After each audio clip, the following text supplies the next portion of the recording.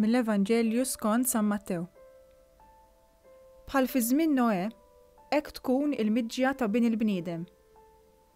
Għax kif fiż-żmien ta' qabel id-dulluvju, kienu jieklu u jixorbu, jiżżewġu u jżewġu, sa dakinhar li Noè daħal fl-arka.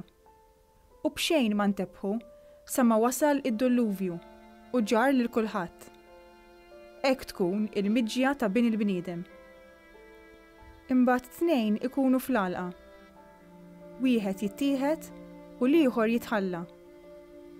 Żewġ nisa jkunu jitħnu flimkien. Waħda tittieħed u l-oħra titħalla. Issru mela.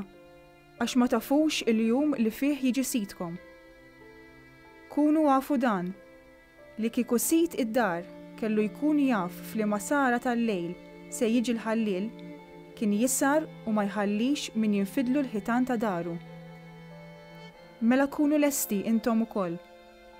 Għax qatt ma tistgħu tobsru s-siegħa li fiha jiġi Bin il-bniedem. Tiskanta, Mulej, kemm jien aljenat, distratt, okkupat. Kultant anki niekol ninsa. Ġieli jsellmuli u lanqas insellem lura. Sirt qisni skantat, waħdi b'elf attenzjoni.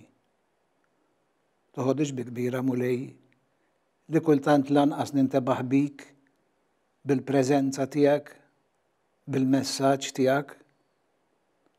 X'għedtlek kultant, Mulej? Saret kważi abitudni, attitudni, stil ta' ħajja. Int sirt interess ieħor fost il-ħafna li għandi, forsi. Ġili laħaq miegħek, ġili le. Ġili jiġi l-istaġun tiegħek u nagħti każek, Ġieli ma tkunx is-siegħa tiegħek u ninsik moħbi. Il-Ħadd, Mulej, noħorġok siegħa min-niċċa li daħħaltek fiha. Jekk ma nsibx skuża wkoll, malar nerġa' ndaħħlek lura fiha sa ġimgħa wara. Mulej, tħallinix nintebaħ meta jkun tard wisq.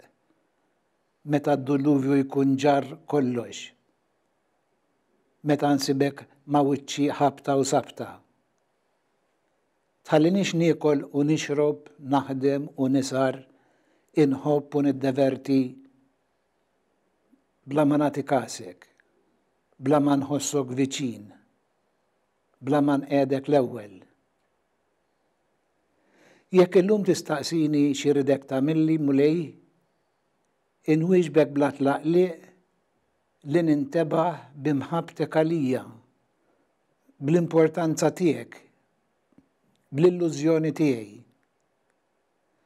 Għallimni nintebaħ, Mulej, bik ġo fija, bik madwari, b'ħuti li spiss ninjora, li spiss naħrab, li spiss inwarrab. Fejjaqni, Mulej, mill-aljenazzjonijiet tiegħi.